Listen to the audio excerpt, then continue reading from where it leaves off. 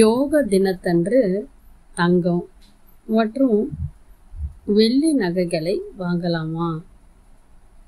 இந்த யோக தினம் அப்படின்னு சொல்லி சொல்லுவாங்க.